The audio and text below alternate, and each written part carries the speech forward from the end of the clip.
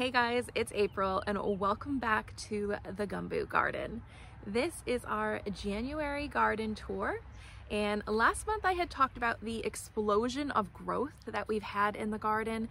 As you can see behind me, things are actually starting to bloom and we're beginning our harvest now. Let's have a tour around and we'll see exactly what's going on now. We'll start at the back of the garden this month at our tomato bed. So these are all our indeterminate tomatoes. I haven't been in the garden much this past month because it's been quite busy with Christmas and New Year's and all of that. Um, so these tomatoes have just grown as they would grow. I haven't pruned them. I haven't tied them up. This is just how they are. The first thing I'm noticing are the amount of marigolds that have grown in the garden. I think there's also some calendula in here. Yeah, there's our calendula. And along with the marigolds, look at these tomatoes.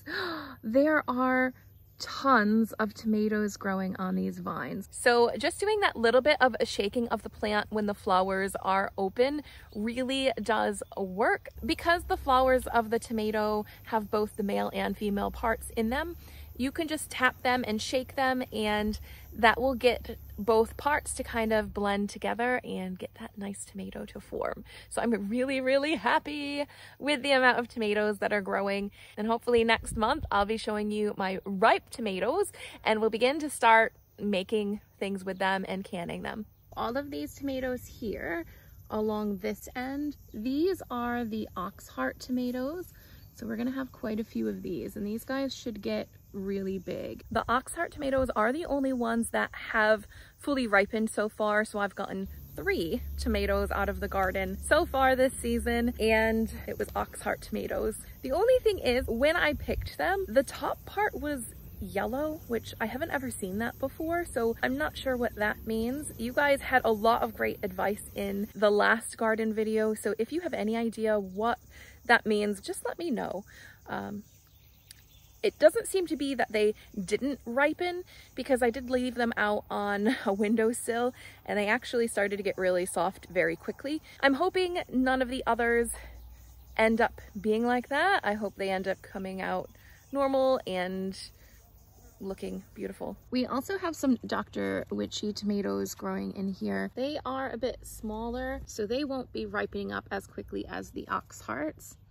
There don't seem to be as many of the Dr. Witchy tomatoes either. This Dr. Witchy's is very, very short. It does have the most tomatoes on it out of all of them, but it hasn't grown tall at all. So I don't know why that one's so short and the others have grown a lot bigger. We also have our cherry tomatoes over here, which there is a cherry tomato that's ready so we're gonna eat that. This is the Rapunzel cherry tomato, so it's quite small. They are starting to form a longer line, but let's try this one. It tastes like summer. Mmm.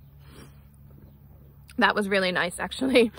So I can't wait for more of them to ripen. In this bed were also our peppers. Peppers down at this end are quite small. This one was getting covered up by the marigold, so I need to tie that back a little bit.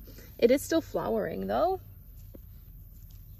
They get a little bit bigger as we move this way. So the peppers are starting to grow a bit bigger and flower. These are the normal green capsicums or green peppers. So we'll be getting some of those starting to grow soon. Then we have our jalapenos. That one's a bit small too because it's been shaded out a little bit by the marigolds. Oh, and this one. Looks like maybe I need to tie back some of these marigolds so that those peppers are getting a bit more sun and they can grow a bit bigger. So that's one thing that I need to put on my list to do today. Although these chili cherry red peppers down at the end are growing quite big and they've got peppers growing on them already. Yay, look it. Ah, so these guys are definitely further ahead than the rest of the peppers that are growing in this bed. But they're all looking really healthy and they're flowering and starting to put on some peppers. Peppers take a bit longer to fully develop. They grow quite slowly. So I'm not expecting to have a harvest of these until the end of summer, but to know that they're flowering and starting to grow and the peppers themselves are getting bigger, the pepper plants, that's really good. So they're staying healthy. I just need to tie back some of those marigolds to make sure that the smaller ones are getting just as much sun as the rest of them. But they're looking good. So where those tomatoes, by the way, we're gonna have heaps of tomatoes just from this bed here. Let's move on to the next bed here, which is the one behind me that had the eggplant and some more tomatoes in it. So these are the eggplants that I was concerned about at the beginning of December, but they're looking a little bit better now. They're not big and bushy, but as you can see, they are starting to flower. So hopefully that means that they are healthy enough and getting enough nutrients and sun and water and whatever they were lacking before that they will put on some eggplants for us. I've also got some other random things growing in here. That's one of our sugar rush peppers some holy basil. And I've got a little watermelon plant growing behind here. There's also another one growing here. I haven't had the best of luck growing watermelons. They tend to not get much bigger than this one that's growing here. Um, I've never had anything pollinate on them.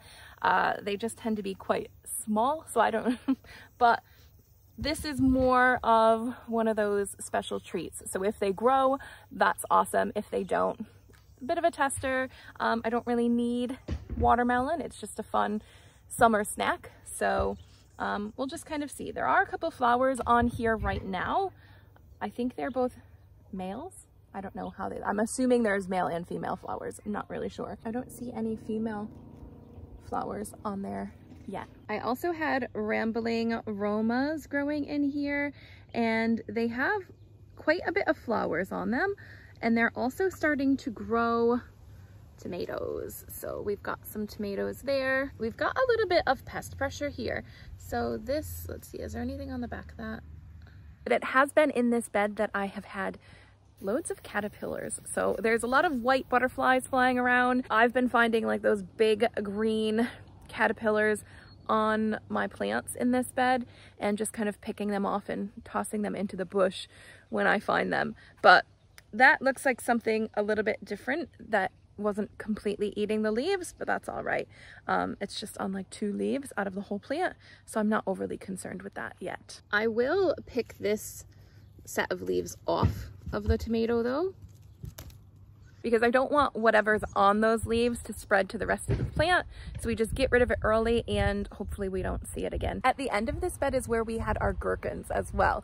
And last month they were about this tall and this month they have grown all the way up to the top and now they're even kind of coming off of the top and leading, let's see, over to my tomato stakes and clasping on. So they are growing very well. And we're gonna get in here this time and see if we have any gherkins growing, which I know we do because I've already picked heaps. A, a big one here growing and another one in here and over there. There are heaps just in this one plant, just kind of in that one area. We went away for Christmas for like four days and when we came back, I checked on my garden and the amount of gherkins that were on this plant was ridiculous. And some of them had grown huge, like a big cucumber size. And um, I was able to do four jars of pickles just out of what was there from like four days. It looks like I'm gonna have to get in here and pick some more and possibly do some more pickles. The next time I make pickles, I'll make a video of that for you guys. This is also where my queen bush pumpkin is down in this bed. And this is the only one at the minute that is still alive. The others did get disease on them. I've tried to spray and doing the spray just really hasn't worked. This one is also fighting off a little bit of disease, but I have been spraying my zucchinis, my my gherkins, this pumpkin plant with a milk and water mixture each week to just kind of keep away the disease or help prevent it from getting worse. And it has worked for this one, but at the minute there is nothing fruiting in here. This obviously was one that didn't get pollinated. Um, we'll take that out of here. Actually, we'll just toss it to the side. uh, but there's also not very many flowers on it. Uh, actually, it looks like in here, we've got a couple that are thinking about growing. So pretty soon we should have another chance to get some of those bush pumpkins. So let's keep our fingers crossed. The plants on the end of this bed are looking remarkable. This is my pineapple sage, which has exploded this past month. So I need to harvest some of that. There's my pansies again. This is the dahlia that hadn't bloomed last time you were here, but I mean, look at it now. And this color has changed. Last year, all of my dahlias were this color and they must have mixed this year because they're a completely different shade which I think they look beautiful in that shade actually I love how they have the pink there uh, it's just weird because they're the same tuber I thought so I don't know how they change shade I know that when a dahlia grows from seed, it can be anything. So it depends on what it's, how it's been pollinated, um, but it can change into any color, any shape.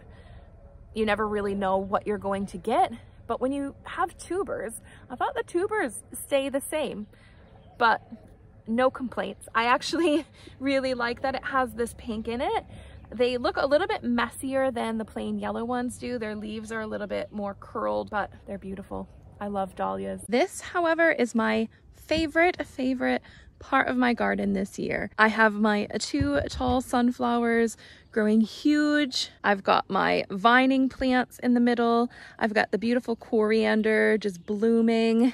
This part of the garden just looks so beautiful and in upcoming years, I'm going to do a similar thing because I love that these sunflowers are just here you know, welcoming everyone in and that underneath the archway is just lush and full. This is a little um, bush raspberry and it has grown some here. So we have some that are coming in, but if you can look closer, see this one here? That one has been eaten off. I have eaten zero raspberries this year from that plant because the birds are getting to them right before they fully ripen. So I haven't had a chance to get any this year, which is a little bit disappointing, but that's okay. It's looking so much more lush than it did last year. And I imagine that in the coming years, it's just going to get bigger and bigger and produce more raspberries. And if I don't get any now, I'm sure I'll get some later. To my kuri pumpkin, not looking as lush as it was before. All of its leaves are dying. It is diseased.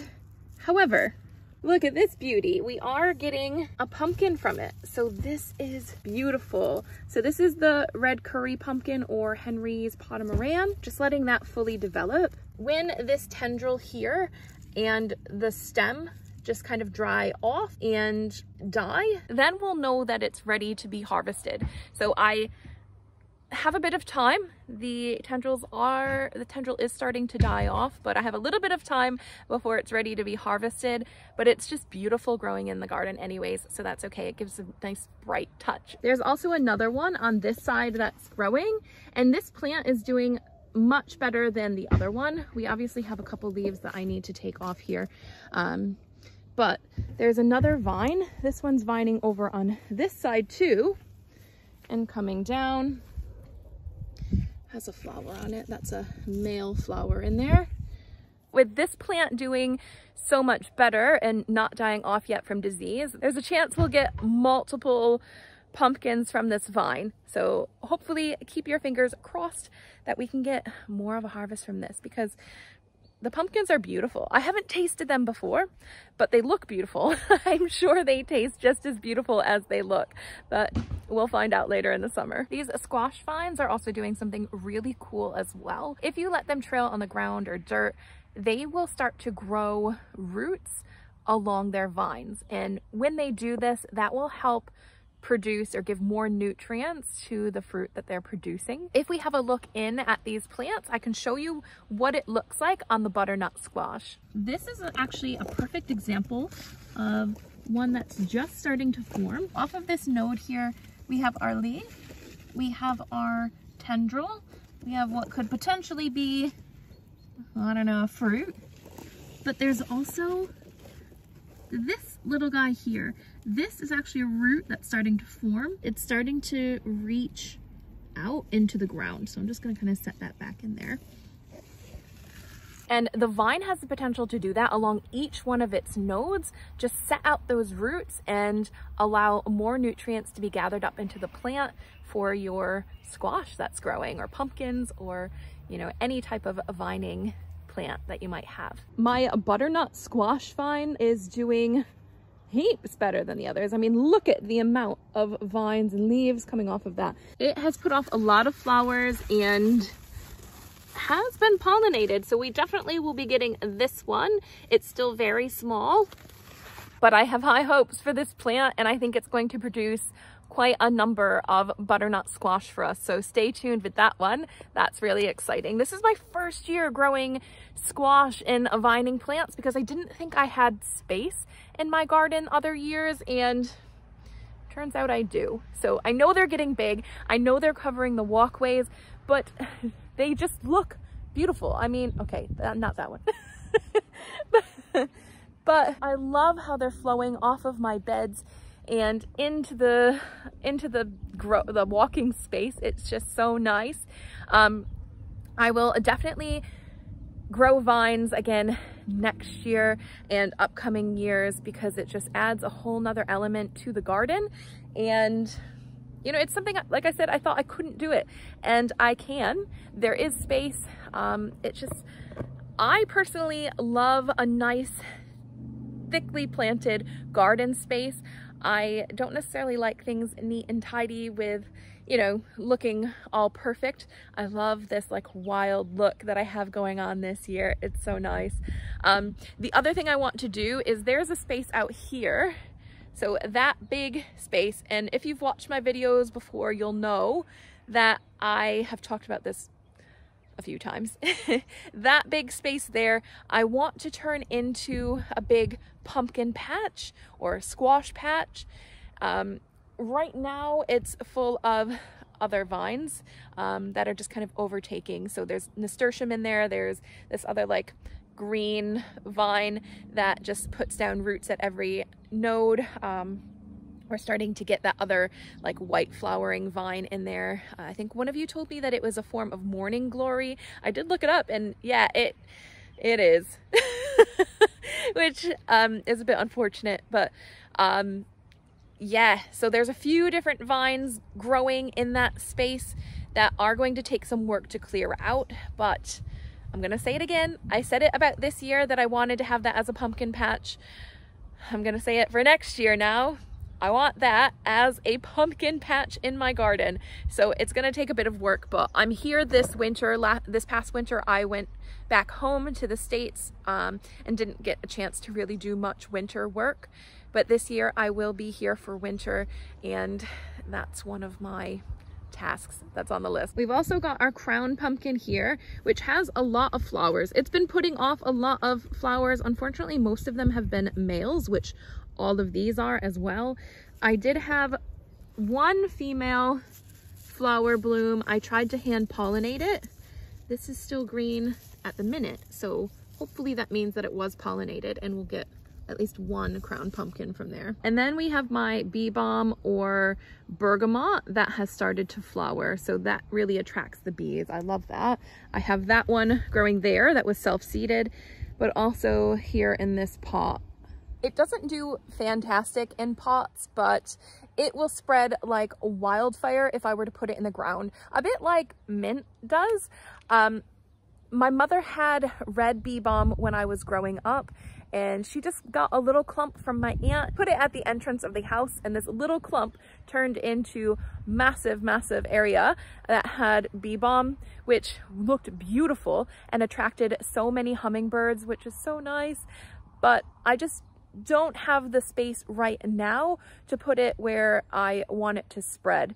Um, so I just keep it in a in a container at the end of my garden bed so that the few that do come up and bloom helps attract some of the bees near my vegetables. My coriander is starting to bloom. It's a bit wild. It's, you know, I had to tie it up because it was falling down to the ground, but we will have our seeds soon. So you can see here that it has the flowers and then these little balls here, they will dry out and be our seeds that we'll be able to keep. Once the seeds dry, I'll grab those and we'll get rid of this coriander. Um, but at the minute, I think it looks beautiful with all its white flowers. And if we go through this jungle of coriander, there are tomatoes back here somewhere. This one I think is the purple cocktail that's growing. A few more back here. These are getting closer to ripening, but not yet. They still have a bit of green on them, but there's our purple cocktail tomatoes that are growing. We do have some Brad's Atomic Grape growing in here too, if I can find them. Oh yeah, these are a little bit easier to find. They're just kind of on the edge of the coriander. But there's our Brad's Atomic Grape. We have heaps of those growing.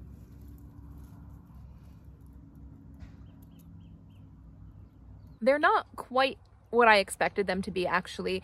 I thought they were going to be a lot more vibrant with their colors and they're not really. They are just starting off green and turning stripy purple. Um, I have some others on the other side here that are a little bit more ripe and they're just, they. I haven't seen all the colors that I was expecting to see with, according to like the picture and what I've read about them. Maybe it's because they're not quite ripe yet. I think these here were the most ripe out of all of them. And I guess there is a bit of yellow on this top one. I'm not sure if you can see the little stripe there. Um, it also looks like something has been getting at it and that it's a little bit diseased, but um, I don't know. Not overly impressed with these. When they ripen, they're meant to be green tomatoes with a purple and yellow and orangey stripes on them. So maybe they just haven't fully ripened yet and their beauty comes at the end um, when you pick them. so we'll see when we pick them, see what happens. Um, and hopefully they taste good as well.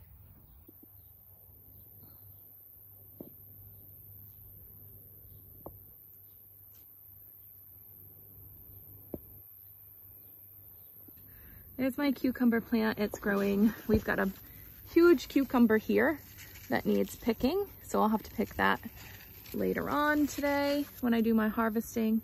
I typically come out every morning and just check on everything in the garden, water it if it needs to, and then harvest whatever I can harvest. Everything that I have been harvesting this year, I have also been weighing or keeping record of how much I'm able to pick and also checking to see what it would cost at the grocery store if I had to buy it. It's interesting to see really just the fluctuation in the prices and how much money that I'm actually saving from growing my own vegetables. So I will definitely do a video on that later in the season once, you know, summer's over and I've, you know, checked on how everything, um, how much I was able to grow of everything and just show you exactly what I've been doing with that. But that's just another interesting thing that I've kind of been doing as I've been harvesting this year. My cucumber in this garden bed, okay, we have another one that needs harvesting.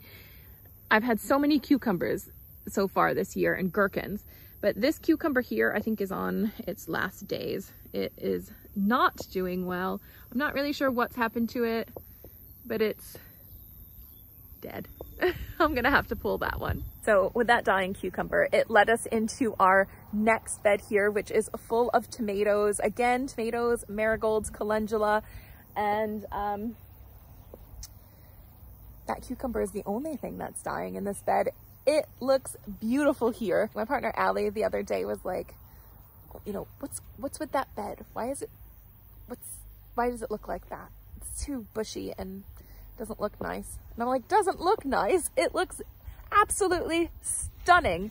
It's all the tomatoes are so big and bushy. They look beautiful. And the marigolds have like grown so tall and he's like, yeah, but it doesn't look very neat. I was like, I don't want things neat. I just want things healthy and producing and that is what is happening in this bed. So I want to show you a closer look at all of the Roma tomatoes that are growing here. So right from the edge of the bed, you can see all of the tomatoes that are growing in there.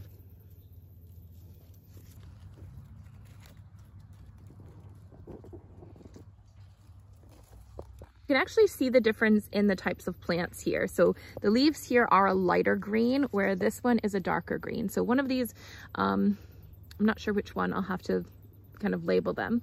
But one of them is a Sicilian paste and the other is just your basic Roma, I believe. Um, but as you can see, the tomatoes on this plant here are more of a rounded shape, where if you look at the other ones, they have a more elongated shape to them. I did plant two different types of Romas this year for a reason. Last year I had planted one type of Roma plant and it was a very, very wet season, so that could have done it, but I planted one type of Roma plant and I had trouble getting them to sprout. And then once I had them planted in the garden, they all were very quick to get disease. So I didn't want that to happen again this year and lose them all because last year I didn't get too many Romas from my plants. They died before they were able to produce heaps. So that's why this year I tried two different types in hopes that, you know, if one died off or got disease, the other one would kind of keep going and keep producing and be a little bit more resistant to whatever disease the other one was getting. But this year it's been much, much better. They look so healthy and so good that you know, both of them are growing really well. So now it's just a matter of which one is producing more fruits for us to have in our garden. I've got this guy here on my marigolds. I think, oh, I can't remember what bug that is, but I'm not sure. Is he a garden pest or a friend? I'll leave him for the minute, but I'm gonna have to check to see what kind of bug that was again. I can't remember. Um, and check to see if he's gonna have any impact on my garden plants or if he's a good guy.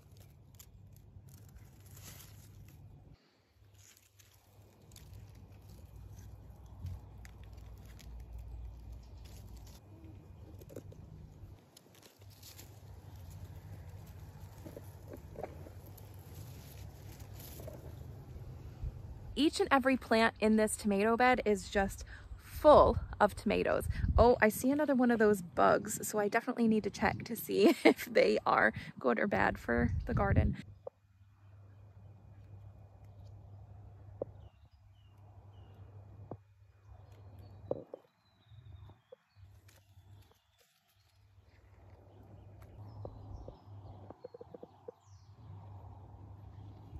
Now that I've taken a closer look with you guys, it actually looks like the rounder tomato is producing a bit more. So I'll definitely have to keep each tomato type separate when I'm keeping track of how much they're producing because I think the one is definitely producing a lot more and a lot better than the other. And that will give me an idea for next year as to which one that I should plant all of rather than planting both of them. I almost forgot to show you the other peppers that we have growing as well. So let's head over to those like 19 peppers that I have in that in-ground space and see if we have anything growing there or at least flowers blooming. So on a whole, it looks like our peppers uh, have grown quite a bit. So they're getting a bit taller. They look like they're going to start really producing. They look really healthy actually. I was concerned that their growth was stunted because it has taken them quite a bit of time to get to this size. But I think if I look back, I think they'll have doubled in size since last month, which is a good sign. Most seem to be flowering and a couple are even putting on some peppers. So this here is the Hungarian wax and we have a pepper on this one and also on this back one here. All right, now last month I had mentioned my blueberries were starting to form and I told you that I hoped that some would be ripe the next time that we did a garden tour and they are. So look how exciting. We've still got all of these that are working their way up, but there are some ripe ones in there. We can see through that netting. We need to keep the birds out. There we are. So there's a couple up here that are starting to ripen and I've eaten a few already. But then down here we have a little cluster that's definitely ready for picking. So let's get in there and grab a couple of those and try them out. And they come right off really easily when they're ready and ripe.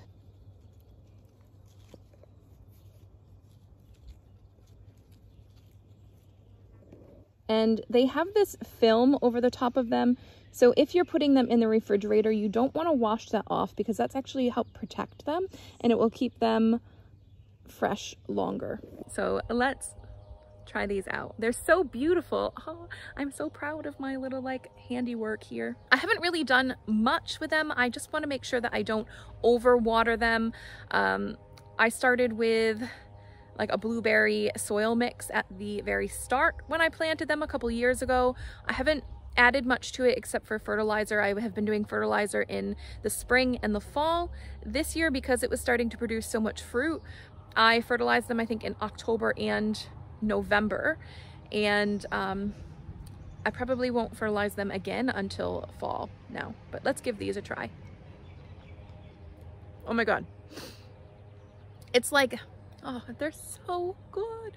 This taste, these taste nothing like blueberries from the store. I can't stop. These are so good. They're, oh, they're so sweet. The amount of sugars in here are so good. You need to grow your own blueberries. You need to grow your own blueberries. It's not a question. It's not a suggestion. You need to.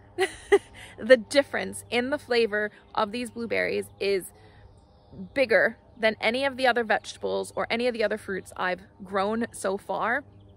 These are delicious. Mm. Yum. As I rave about my blueberries, I should probably tell you what kind they are. These are blueberry powder blue. These are the only ones that have ripened so far. I do have two different types of blueberries. You typically want to have more than one blueberry plant and you want them to be different varieties and that helps so they will pollinate each other. You'll end up with more blueberries and blueberries that last for a longer growing season. Because different varieties tend to ripen at different times. So these are obviously ripening sooner than the others. have a little appearance in the background by Kaylin. Um, but these tend to ripen at different times. There are different like main varieties of blueberries that you would want to look to see which type grows better in your climate. Um, but in those varieties, then you can go like different sub varieties. So, and pick what you want. Typically at your garden store, the blueberries there should be blueberries that grow well in your climate. So if you pick them up at the garden store, you should be spot on with what you need to have good producing blueberries for your, your area. Um, the only time you really have to do a bit more research is if you are looking online to buy blueberries, then that's something you might want to check to make sure you're getting something that grows well around you. All right, let's move over to this last little section of my garden. So this is the in-ground section of my garden. There are all of my zucchinis in the back and my tomatillos. So my tomatillos have really gotten quite large and they are all starting to flower now. I've seen the bees on these quite a bit. So we should end up with a good number of tomatillos. These two at the end, these were actually on my deck until a couple days ago, but even on my deck, we had one the bee I saw the bees up there um, and we have one that's starting to go. So tomatillos grow in these little capes and when they're ready to be picked, they'll fill out these capes and kind of be splitting at the bottom here. That's when you know that your tomatillos are fully ready. Now, when you're planting tomatillos, you do want to have at least two tomatillos in the same area because it takes two tomatillo plants to, um, to pollinate each other. So that's why I have a group of them here. I have two, four, six, I have eight, a lot. We have eight tomatillo plants just here. And then just on the side section over there, I have three more. So make sure you're planting at least a couple tomatillos together. It's not like a tomato plant where you only need one, you need two at least. Here's our patty pan squash. This is the green one. This has produced a few more than the yellow ones have for us. So that one's ready to be picked there. Got another huge guy in here, so I need to pick him as well.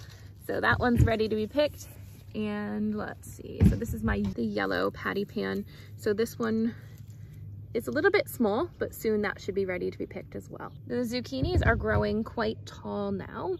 Every couple days I come out, or once a week I come out and check to see if they need to be tied up again. And I prune all of these. So all of the old leaves, all of the old flowers, they all get pruned off just until the bottom one that is growing here and then I leave the rest of the leaves. This one, however, did not get pollinated, so that can probably go.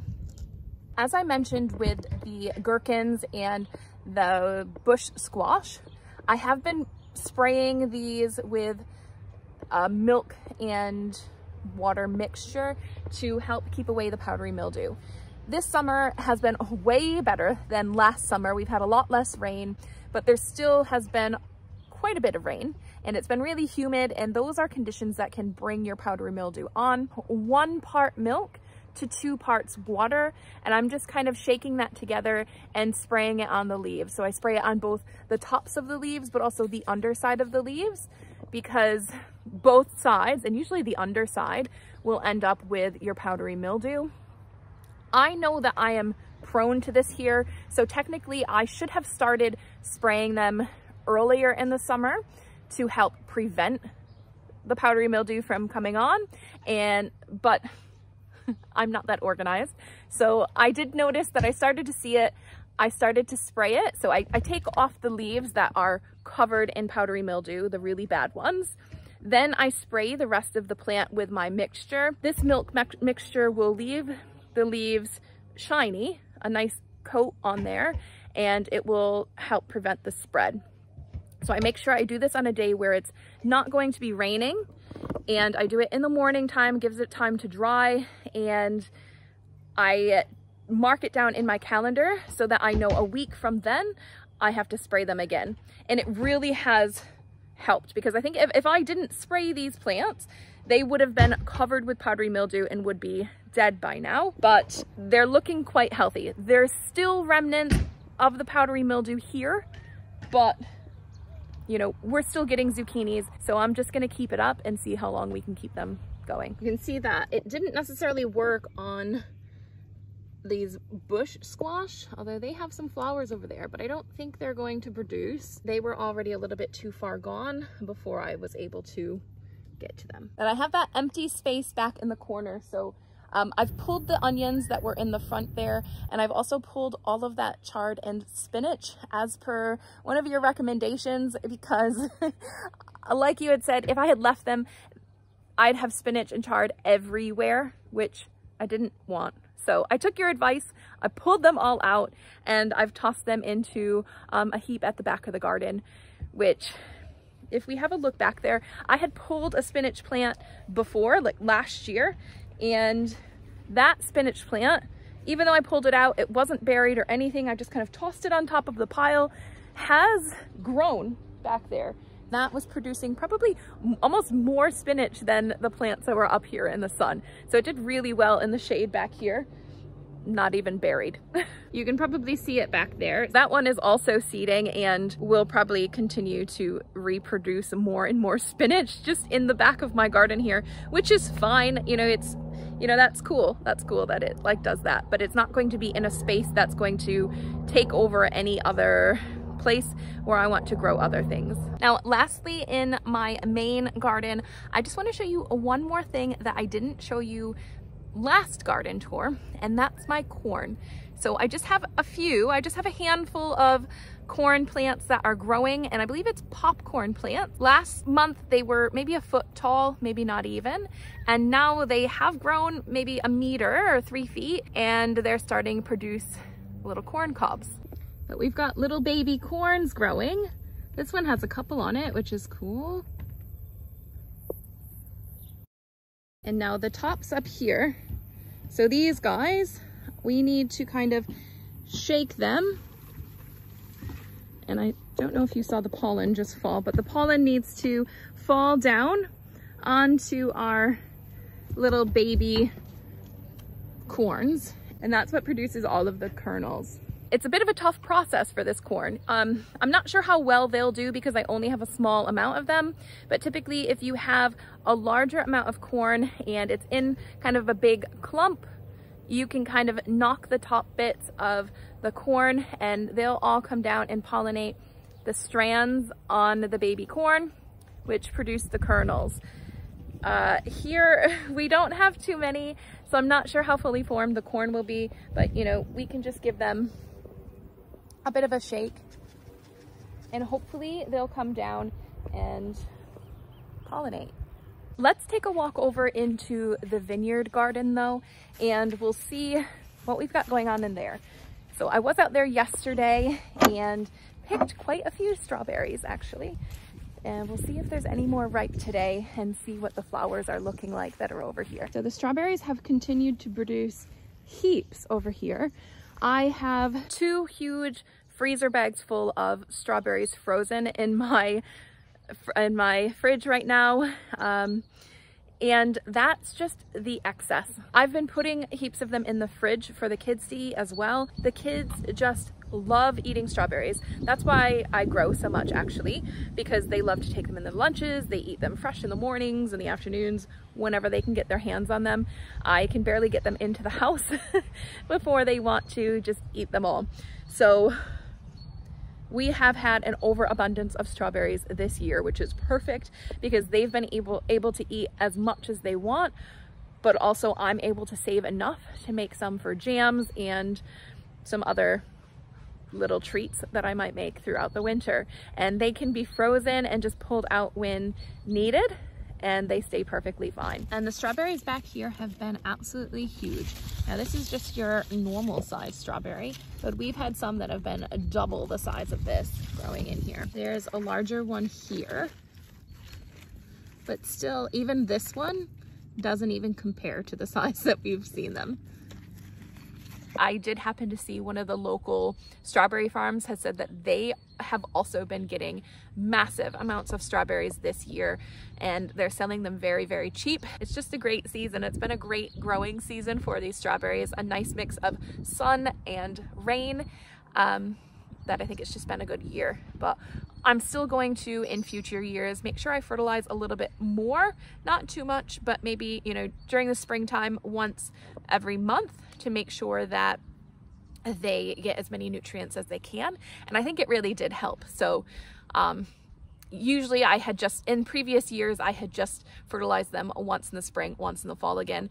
But as I'm learning a little bit more on how to supply enough nutrients to the plants, I've noticed that, you, you know, you want to give them nutrients in the spring when they're starting to regrow, but then also when they start to produce their fruits, you want to give them another boost um, to make sure that they're producing big and sweet and good fruits for you. So I've been doing the same thing, the blueberries, the strawberries, um, and all of my like citrusy fruit plants that I have, I've been fertilizing the same way.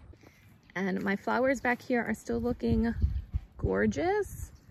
There aren't very many, but next year we'll plant heaps more. I mean, oh, they're so pretty. One thing I didn't realize about zinnias until this year, uh, the zinnias are quite large, but initially I was just getting zinnias about this size, which is very small. And I was thinking, oh man, like I thought I ordered the giant ones, the big ones, which I did.